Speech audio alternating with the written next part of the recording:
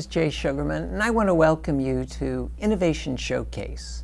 The main purpose of this ongoing series is to inform viewers about exciting innovations and creative individuals across the fields of business, science, technology, education, and the arts. Today we're fortunate to have as our guest Dr. Paul Apen. Dr. Apen serves as the Chief Strategy Officer at E Ink, the world's leading developer and provider of electronic paper displays. During the program, we're finding out why and how E-Ink came about. We'll trace its growth and development, and in the process, come to better understand and appreciate the wide range of applications, uses, and benefits of the company's groundbreaking efforts. Let's start by meeting Dr. Apen and then finding out all about E-Ink. Welcome, Paul. Delighted you're able to be here. Thank you, Jay. Uh, it's um, really a pleasure. Oh, it's been fascinating just doing a little background reading. I'm eager to hear more about the company and have you inform viewers. But before we jump right to that, mm -hmm. I think it would also be of interest just to briefly hear a little bit about your background and your current position. Great. Yes, I'm um, happy to give you some uh, sense of my background. Uh, my formal education and training was in chemistry and uh, material science. And uh, I've worked in uh, different industries over the course of my professional career, all related to materials technology mm. and advanced technology for um, a variety of end applications. I've worked in uh, energy efficiency uh, applications, I've worked in semiconductor uh, materials, I've worked in display materials, optical materials, and mm. now I've come full circle back to E-Ink. Nice, nice. And your position as a Chief Strategy Officer, so what does that entail? Yeah, uh, Chief Strategy Officer at E-Ink uh, requires a few hats, I would say. Uh, the strategy position really uh, seeks to set some medium to long term uh, direction for the company. And so uh, in addition to corporate strategy, I'm involved quite a bit in corporate planning, mm. our business development and commercial business activities. Also, uh, the marketing team uh, comes under mm. the strategy group as well. Uh, and I work, of course, with all of my colleagues in the research, development, and manufacturing areas to try to make E-Ink a successful company. Uh, which it most definitely is, as we'll hear more and more. Um, leading up to that, could you just give us a little sense of the history and development inspiration mm -hmm. for the company? Yeah. E-Ink was a classic uh, startup. It uh, spun out of MIT Media Lab back in 1997. Mm. And uh, the founder's idea uh, was to try to create um, a, a, reading experience that was completely different uh, so that you could actually read a book uh, or read a screen outdoors. And so their idea was to think of how to make an electronic paper kind of device. Yeah. Uh, and it ends up being um, uh, inventions that were initially created at the MIT Media Labs. A company was formed that they called E-Ink. And the founders went to that company, uh, raised money uh, to develop uh, the technology further and to develop the capability to manufacture and bring the product and technology to market. In the 2000 time period, the company found some very um, uh, good opportunities to create a display that could be used in an electronic book reader. Yeah. And our first launch customer was Sony. They launched the Librie uh, device mm -hmm. back in 2004 or so. Uh, and then our second uh, major customer was Amazon with the Kindle uh, being a big hit and success. And Most so that created tremendous commercial momentum. Uh, the company continued to grow. Uh, it was acquired by one of our partners, which was a display company that was headquartered in Taiwan, and now we're part of a bigger electronic uh, ink or e-ink holdings group mm -hmm. um, uh, based in Taiwan. The U.S. headquarters is still in the Boston area. Mm -hmm. We've continued to grow. Uh, we have a facility now uh, in Billerica, an R&D facility. We also have our manufacturing uh, site out in the western part of Massachusetts in South Hadley. So we've developed and invested quite a bit uh, in the Massachusetts area uh, to continue to build not only new products and new technologies, but to also manufacture those products and ship them globally. So it's a very exciting story. Oh, most exciting. From locally Cambridge to, as you said, international yes. and everywhere in the world. Yeah. Um, well, we're fortunate to have both images and items that Oh, you great, yes. brought. So we can share, you mentioned uh, reading devices, and we'll start maybe with the reading and writing Sure. opportunities Okay. with the technology.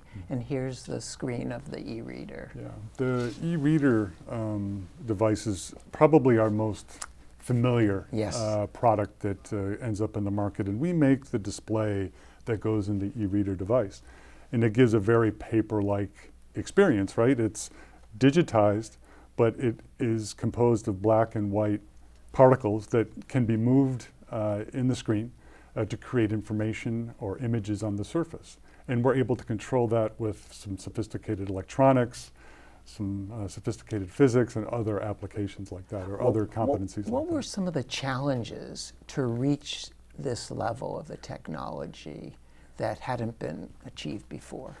The um, electrophoretic technology is how we would describe um, the fundamentals of moving particles in an electric field. So we take these particles that would be positively charged and negatively charged, and we move them in a film. The film would look something like this. And this is really our core material that ends up being uh, the uh, key component in this electronic display. And this material um, is cons- consists of electronic ink Oh, yeah. uh, that's coated on different substrates, Mhm. and it can be switched back and forth from black Nice. to white. And it's the careful control of those particles that really was the ch- big challenge for our scientists and engineers to overcome as a first step to make the technology viable. Then trying to scale that up, of course, was our second big challenge, where uh, we had to be making these uh, films uh, in kilometer lengths. So Mm. we have a manufacturing process where we coat the ink onto a substrate, we coat it in a roll-to-roll process, so it's a continuous process, and we do this on the scale of uh, kilometer lengths, you know, two feet wide, three feet Mm. wide by kilometers. And so now, um, from a small startup to you know a fully capable high-volume manufacturer Mhm. of the electronic uh, paper uh, materials and displays, is really where the story goes. Initially, our technology was black and white, like I'm showing here. We have now continued to advance that technology. Yeah. We've added color. Uh, we've been able to um, uh, adopt and use flexibility of the materials to create different shapes and different elements. And now we've scaled up these displays to be even larger size. So hopefully we can show some of those examples during the Right, and discussion today. even uh, changing landscapes, interactive. Yes, all of those Yeah. things are possible. And so, um, one of the key things about this display technology is that it's very different than other kinds. Um, a couple of features that make it exciting one is um, it's generally low power. It is much lower power to operate than other kinds of display technology. Uh, the fact that the form of it uh, can be changed and varied from maybe a very simple um, uh, form factor like this, which is uh, triangular, rectangular, to a display like this, which uh, would be flexible and could be laser cut into different shapes. So it just creates more elements and tools for product design. Yeah, that variable seemed to come up more and more across the board when I was reading about the range of materials, is the low power Right. That it offers this opportunity. Yep. Well, let's continue. Sure. And we'll just do a few more, here's Yeah. some images as we do our sort of reading writing entry. So our main product category was the e-reader, uh, and that's uh, still and remains a very important business for e-ink. But now we've extended the technology, and in addition to the general reading, we're able to have uh, a writing capability. So naturally, it makes sense, right? Paper you can read, you can also write on Mhm. paper. So I can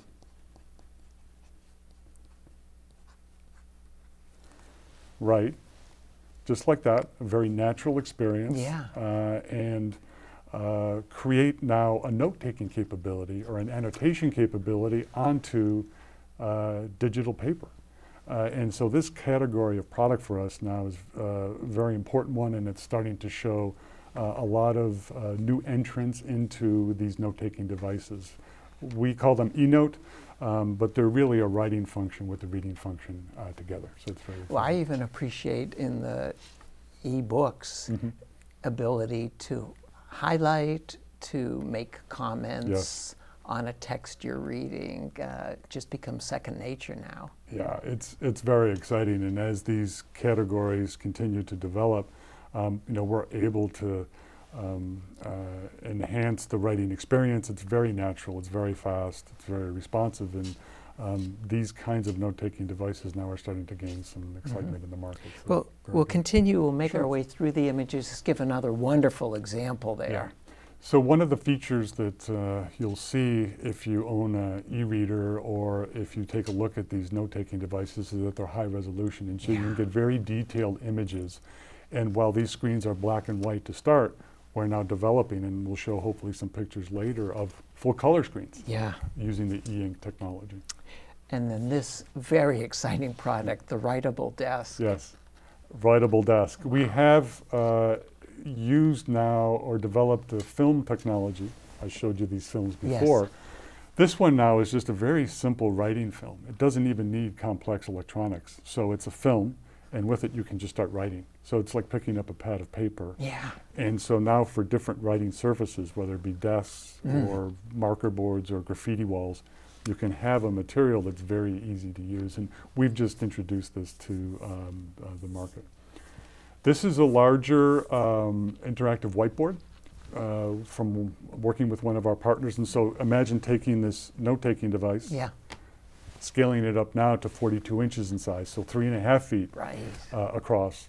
And it has those kinds of features and interactivity where you can write notes, you can brainstorm with your project teams, you can share information because it's a connected device. Yeah, what a feature. So the key thing here is that now all of our devices, you know, are digital paper, but they're connected. And they're connected uh, to each other or can be connected to each other and to other devices. And so our customers are working hard. Now, as we just scratch the surface now, it's one of the exciting things the more I find out, and I think viewers and others about e-ink, mm -hmm. is just the diversity and the growth from the initial idea of That's the right. reader into all these other uses that yeah. you're taking advantage of making opportunities for people. Yes. Fabulous. Um, very, it's very exciting. And, you know, these first few things may be more uh, familiar to consumers, but right. we have a lot of uh, technology and products now going into what I would call more industrial type of applications. We think of it as the Internet of Things. As more and more mm. devices mm -hmm. become connected, there's always going to be some need for a um, uh, visual um, cue or I'll say a uh, information exchange or images provided on these kinds of devices. And so e-ink is ideal for many of these types and of products. Let's move on to another area, some of the wearables mm -hmm. that you have that yeah. people are most likely familiar with but haven't made the connection. Okay. Yeah, and it, again, takes advantage of the fact that it's low power, that it's very easy to see in outdoor lighting conditions, which some of the traditional LCD screens may be more difficult to see. And so we are now and have introduced these into a whole range of product types.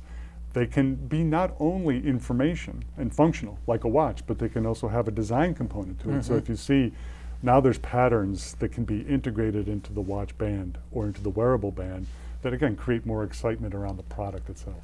And you said uses, and here's a wonderful example in the healthcare field. Yeah.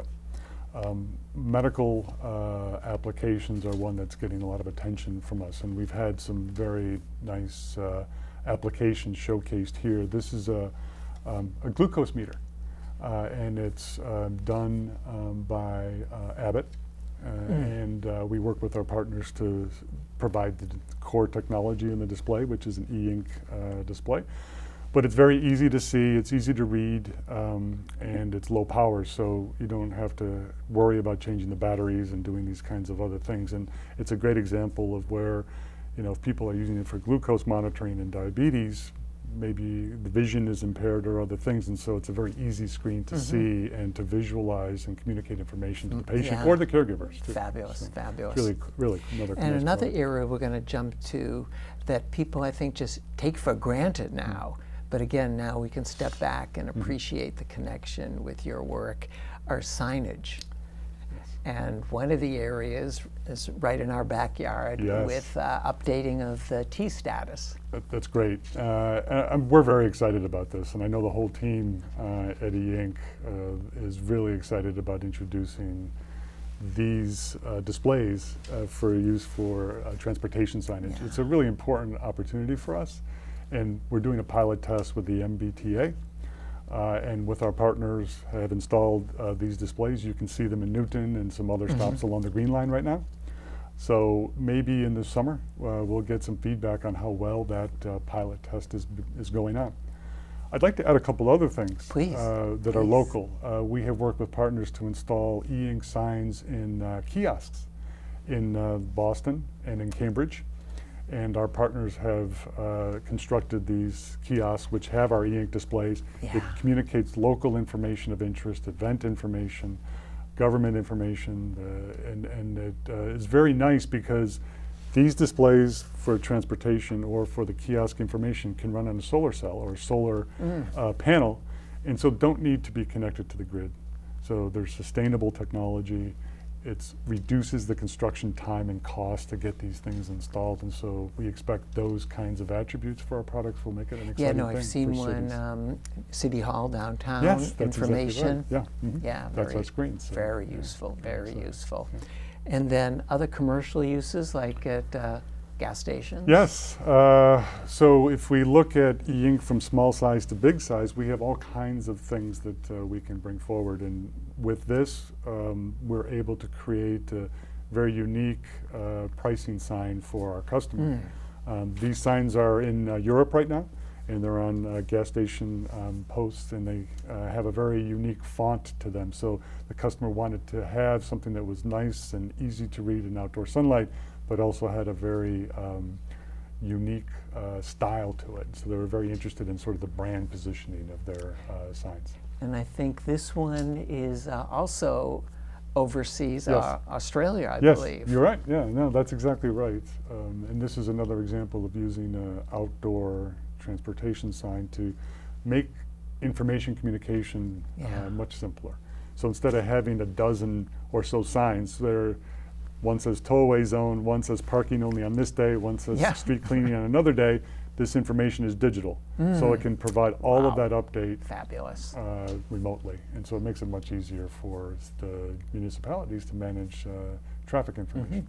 And another more commercial area that more of us are seeing are menus Yes, and signs in retail stores. exactly. And the retail category itself, broadly speaking, is an important one for us.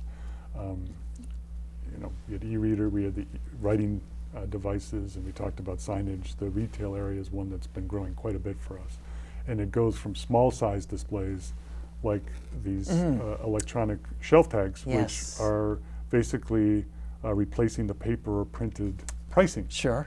In a supermarket or an electronics store, you can use this, connect it digitally, communicate pricing dynamically. It's a very nice tool for retailers um, to, to use.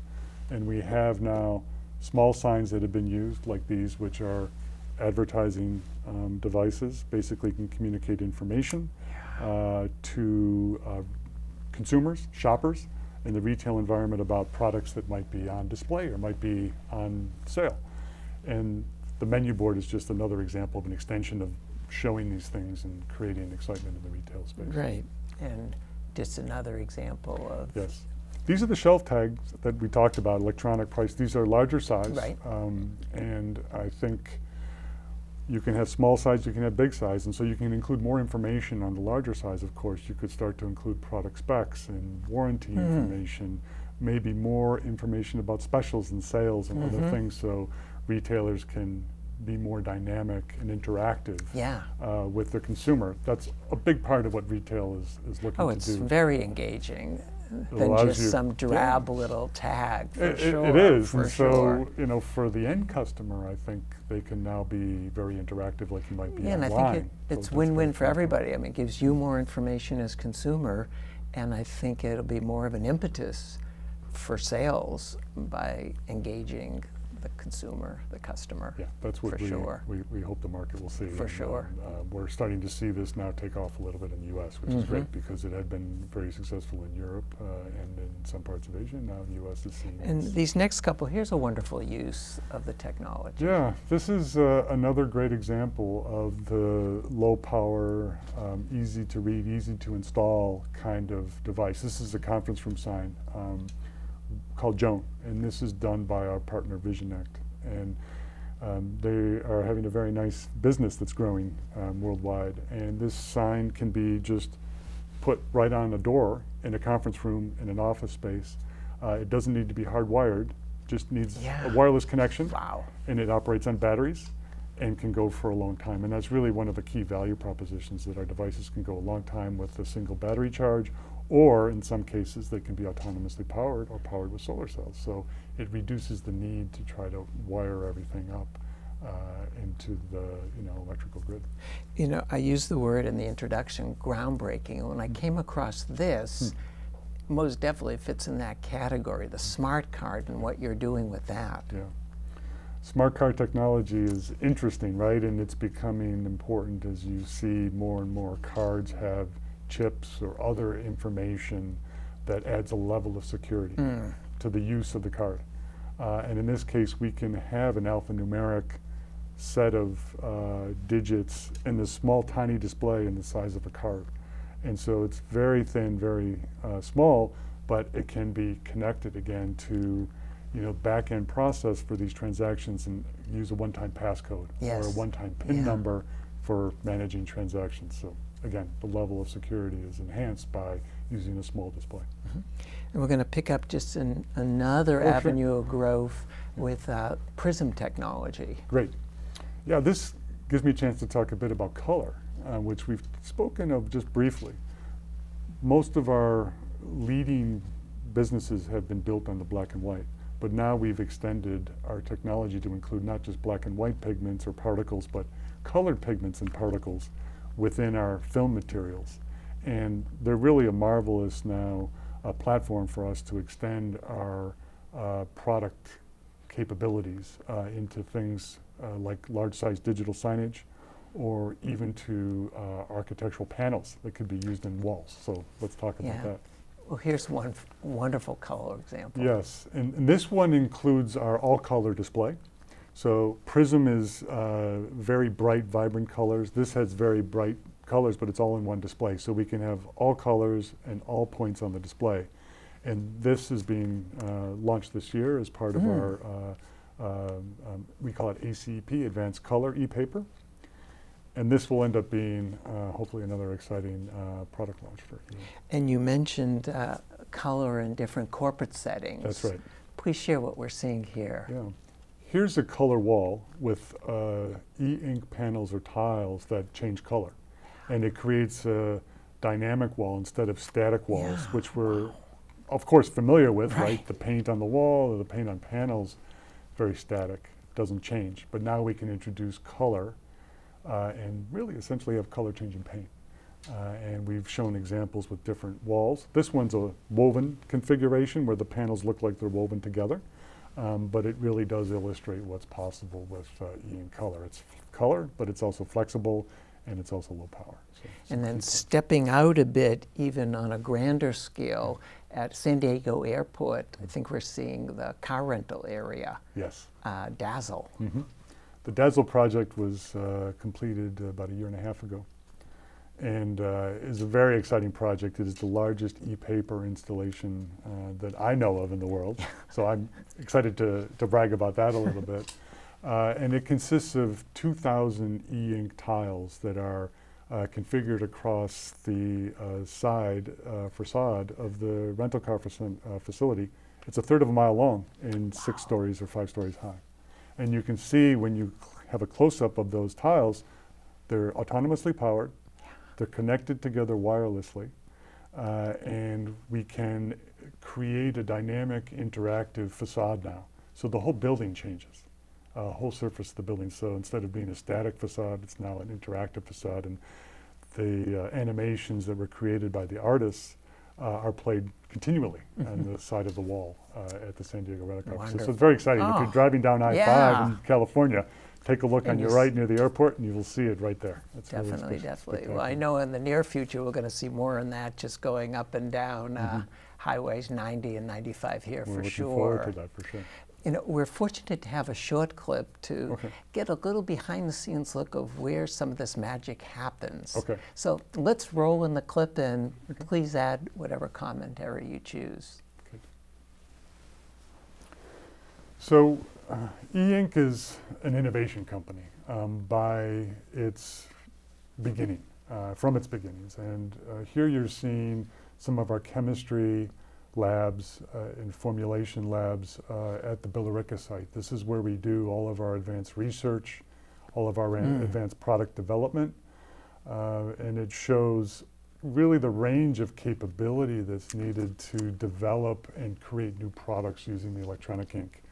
So we have experts in chemistry, we have experts in material science, we have experts in coding and processing of materials, we have experts in electronics and in device physics and particle, you know, it's kind of uh, uh, uh, um, ink and all these sorts of things. And so that range of capability has to come together and work smoothly to create some of these products because there's some substantial challenges to have, that have been overcome to make this work.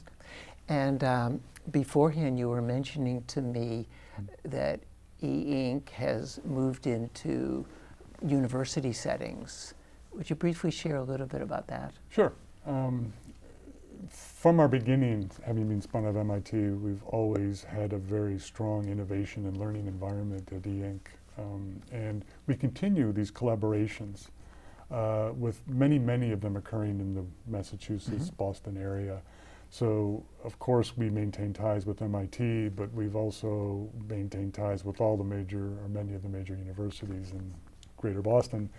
We have um, collaborations with the University of Massachusetts at Lowell and Amherst and other places. So it's really part of the, you know, the DNA of our company. Yeah. uh, No, to keep up these things, and it's a combination of, you know, collaborations with students and professors, but also looking to recruit, you know, top talent to Sure, keep sure, them, sure, you know, um, interested in what our company is doing. So it's very And exciting. you place a premium on the professional development of current employees. We do, uh, and we have uh, uh, something called E-Ink University, which is, uh, you know, a nice uh, example of how we continue to foster employee development, employee learning. We have regular classes that cover everything from technology to business uh, and everything in between. We have our own teammates or team members that uh, present and teach these classes. We also have outside lecturers come in and uh, continue to foster this learning environment. Uh, so we found it to be a very productive uh, model for um, um, uh, employee engagement. Nice, nice. In the uh, just brief time, one minute we have Sure. left, um, you've shared some of the current and upcoming efforts. What are some others that maybe we didn't cover that you'd like to highlight, even if they're at the beginning stages? Sure. Um, I think what you'll end up seeing from E-Ink is more, um, more in the way of uh, advanced color, uh, more in the way of uh, new writing technologies, as we highlighted one. Wonderful. These are the kinds of things that we expect to see coming in the future, Fabulous. you know, to products and to showcases. Well, unfortunately, we do have to wrap Okay. up. I want to thank you so much for being here, for sharing the wide range of opportunities that people can benefit from e-ink's technology and continued success. And we'll definitely uh, go on the website and just try to keep up with all the things you're hmm. doing. Thank you, Jay. I also want to thank those of you watching for joining us and hope you'll be able to tune in next time.